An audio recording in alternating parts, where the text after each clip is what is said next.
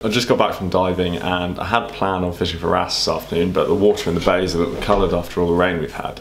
And uh, but luckily for me, the harbour's got lock gates on it, so that doesn't really get affected. So rather than not go fishing, I'm to go for a bit of a species hunt.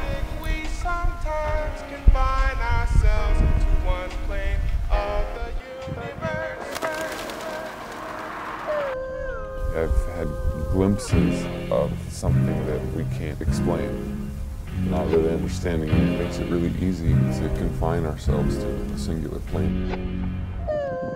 I can't accept such an isolated experience. I need to connect with other people to have some sort of shared interpretation of reality and experience something more than what there is.